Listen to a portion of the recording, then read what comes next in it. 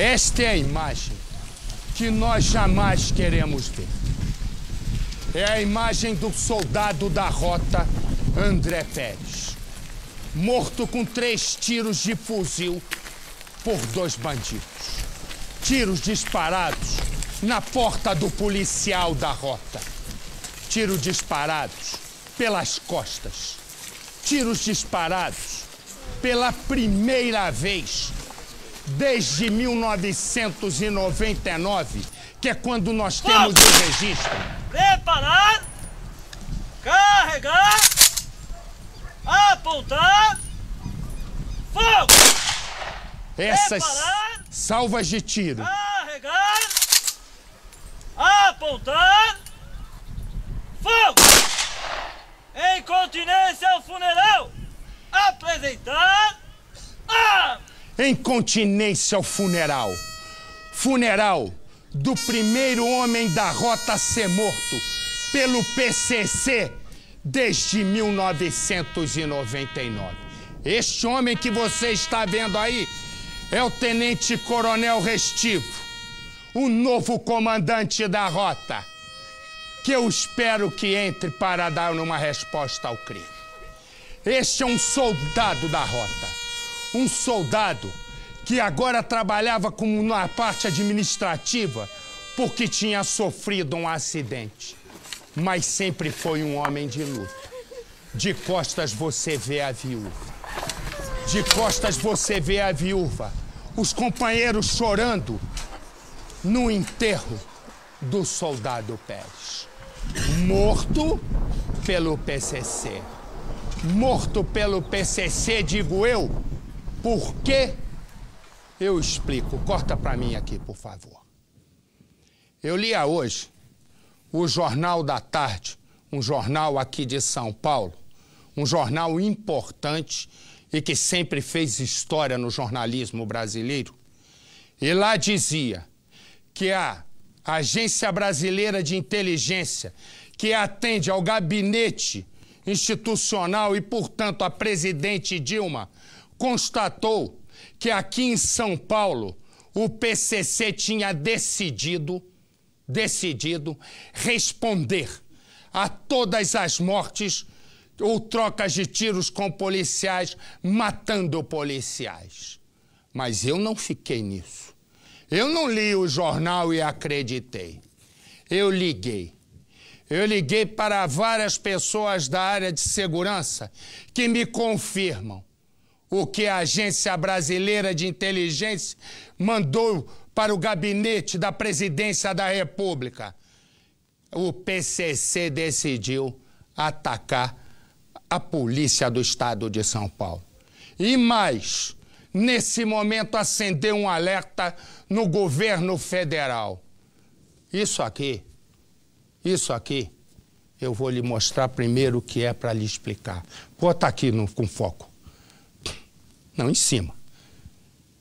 É o novo estatuto do PCC, escrito por alguém que sabe ler e escrever. O novo estatuto do PCC tem um artigo. É o artigo 18, que eu não marquei, mas está aqui. O artigo 18 determina o seguinte: este é o novo estatuto do PCC. Veja se é possível. E no seu artigo 18, ele diz o seguinte, em síntese: vamos responder vida com vida e sangue com sangue.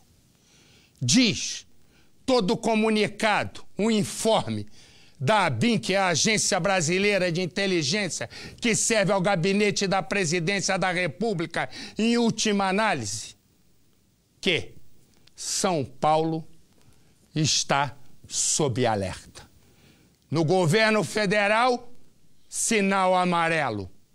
Sinal amarelo. E aqui o novo estatuto do PCC diz: vamos matar. A informação é que na penitenciária 2 de Presidente Bernardes, onde está o chefe do PCC Marcola, de lá teria partido a ordem, diz um informe dos agentes secretos que atendem o Palácio do Planalto. E nós estamos vendo, dia a dia, os soldados, os policiais sendo mortos. E ninguém reconhece. Põe no ar para mim, por favor, o enterro, o enterro de mais um soldado da rota, para que a gente comece a mostrar isso aqui. Põe no ar. Com honras militares, o soldado foi enterrado, salva de tiros, aplausos. Além da família, mais de 100 homens da rota, a tropa de elite da PM paulista, participaram da despedida do colega. Muitos se emocionaram. O novo comandante da corporação acompanhou o enterro, perto dos pais de André Pérez de Carvalho. Pessoa competente, humilde, dedicada, capacitada profissionalmente. Então eu tenho muitos adjetivos para classificar a conduta dele. Né? O policial que tinha 40 anos foi morto quando saía de casa na zona oeste de São Paulo para trabalhar. Estava sem farda. O soldado chegou a tirar o carro da garagem, mas não teve tempo de fechar o portão. Foi atingido pelas costas por tiros de fuzil. É violenta, cruel e extremamente covarde, né? Acima de tudo, covarde, a maneira como foi procedido a, a, execução dele. A Corregedoria da Polícia Militar também vai investigar a morte do soldado Pérez, mas é o Departamento de Homicídios e Proteção à Pessoa que já analisa as imagens de um circuito de segurança de um posto de gasolina que fica bem perto da casa do policial. A imagem mostra o momento em que o carro dos atiradores para ao lado do veículo do soldado. É possível ver a fuga segundos depois. Nada foi levado do policial nem a arma dele. O crime é tratado como uma execução. André Pérez de Carvalho era separado, tinha um filho de 12 anos e trabalhava na parte administrativa da rota, profissão que sonhava desde a infância. Ele brincava com, com os carrinhos dele e sempre questionando com os pais que era polícia e passava uma viatura, ele, a gente percebia que ele manifestava uma alegria imensa, né? Então já estava no sangue mesmo. Uma morte encomendada. Este é o artigo 18 do PCC. Vou ler para você. Eu vou ler, sabe por quê? Porque é um absurdo, um absurdo que ninguém vá para dentro da cadeia para ter uma conversa definitiva sobre isso. Diz o seguinte, o artigo 18 do PCC, no novo estatuto do PCC. Todo integrante do PCC tem o dever de agir com serenidade em cima de opressões, assassinatos e covardias, vai vendo, realizada por agentes penitenciários, policiais civis militares e contra a máquina opressora do Estado. A pergunta que eu te faço: esses caras do PCC que você vê sendo presos aqui, esses caras, teriam condição de escrever isso tão bem escrito? Vai pensando comigo, mas segue falando o artigo. Quando algum ato de covardia, extermínio de vida, extorsões que forem comprovadas estiverem ocorrendo na rua ou nas cadeias por parte dos nossos inimigos, daremos uma resposta à altura do crime.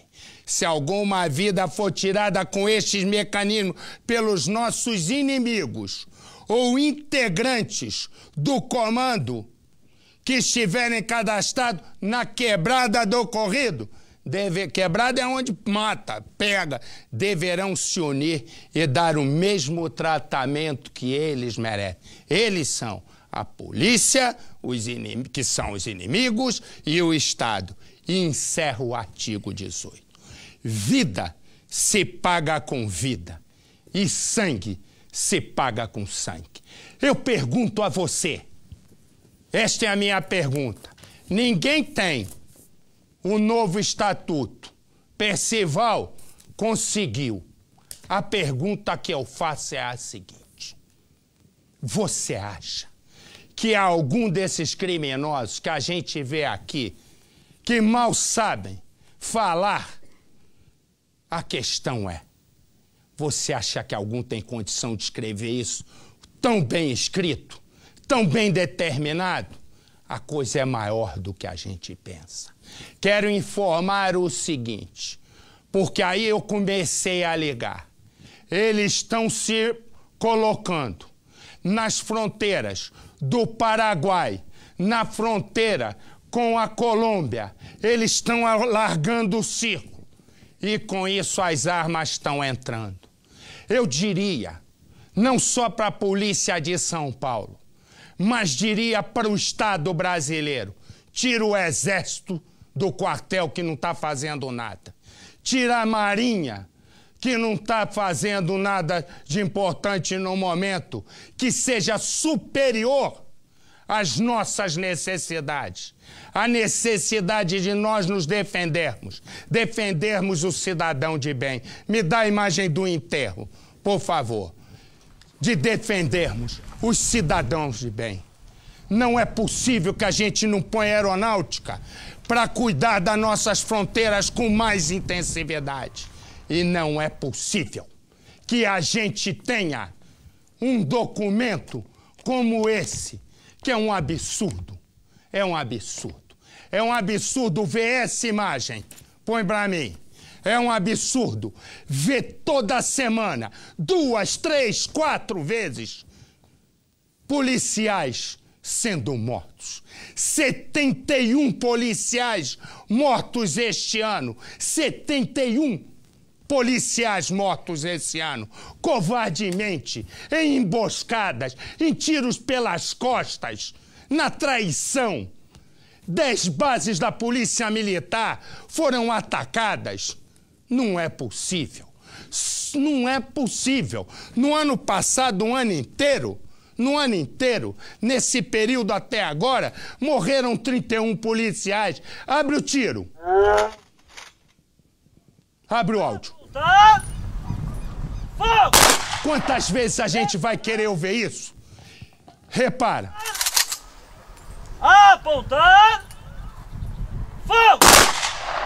Em continência ao funeral! Incontinência ao funeral. Incontinência ao funeral. Funeral de um irmão nosso que defendia, que nos defendia e que foi morto com três tiros pelas costas. Não dá mais. Não dá mais ouvir essa falação de político que não vai para lugar nenhum. Tem que se colocar homens, homens, à frente dos comandos, homens que vão para a guerra, porque isto aqui é uma declaração de guerra. Ou eu estou errado, Percival, ou eu estou exagerando. Não, não está exagerando. Essas imagens do, do, ritual aí do funeral são impressionantes, porque o policial militar é a única profissão, Marcelo, que se faz um juramento de sangue. O policial, esse aí que está sendo sepultado, ele jurou defender a sociedade, mesmo com o risco da própria vida. Olha os policiais da rota chorando aí, ô Marcelo. Eles estão chorando. E as cartas estão na mesa. Política de segurança. Quem faz PCC é a rota. O PCC decidiu agora ir para cima da rota, Marcelo. E desde 1999, nenhum, nenhum, nenhum policial da rota, por respeito, tinha sido atingido. Trocaram o comandante da rota porque aumentou em 45%. Em 45% a morte de bandidos.